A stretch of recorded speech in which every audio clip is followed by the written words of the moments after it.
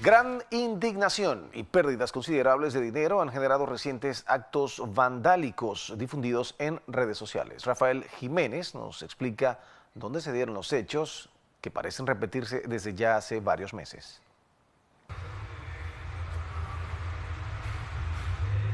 Las redes sociales estallaron con reacciones de repudio la tarde de hoy, luego que se filtraran videos de supuestos actos vandálicos registrados la madrugada de este jueves. Se trata de una serie de atentados cometidos contra locales comerciales por supuestos jóvenes armados con pistolas de balín, quienes realizan disparos desde una camioneta. Cada vez que se le ocurre pasar a estos chiquillitos en ese CRV, porque eso es un juego de niños y aquí nadie hace nada.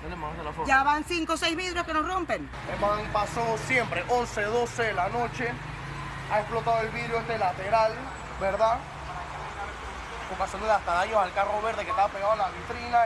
La acción generó la molestia inmediata de algunos dueños de estos comercios, quienes la mañana de hoy vieron los resultados de una acción que según ellos tienen varios meses padeciendo. No es normal, no es normal que nadie pueda hacer nada, no es normal que la policía no pueda agarrar a cuatro pendejos. De acuerdo con lo compartido por algunos de los afectados, son actos vandálicos que representan pérdidas por miles de dólares en más de 12 comercios ubicados en siete cuadras distintas. No, no, no, mi local. Tenemos siete cuadras.